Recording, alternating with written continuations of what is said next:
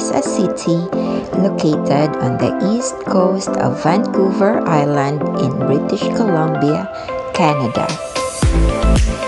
To go to Nanaimo using public transportation from downtown Vancouver, you have to take a bus to Horseshoe Bay Terminus.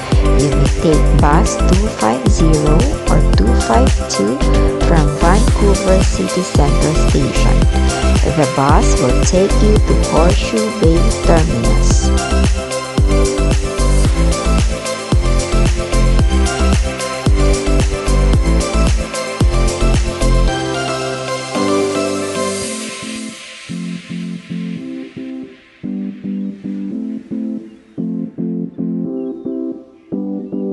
When you reach Horseshoe Bay Terminus, you have to purchase a ferry ticket to Nanaimo. The ticket costs $17.20 and the ferry travel time is 1 hour and 40 minutes. Upon purchase of the ticket, you have to go to the waiting room and wait until your boarding time.